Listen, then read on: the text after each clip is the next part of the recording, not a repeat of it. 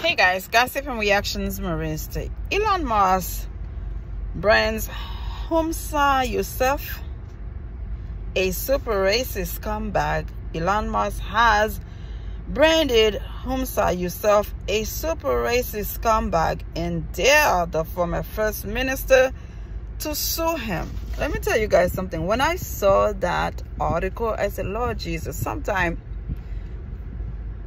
somebody is a racist themselves, but they don't see it. They don't realize that. They don't think of it. They don't see themselves as racist.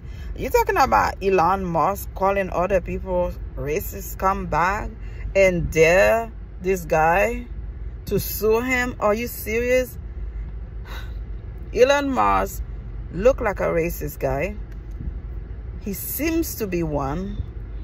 Everything that comes out of his mouth seems to be very sexist and racist and very not somebody who would help you know like everything me me me me me. Everything stays in his pocket. Stay for him. He wants more and more and more. Somebody like this i don't really care for you to tell you the truth. I don't care for you. It's you against your own world. So to hear that he called the former first minister a scumbag then what are you what are you? Oh, God, give me a break. Subscribe. Thank you for watching.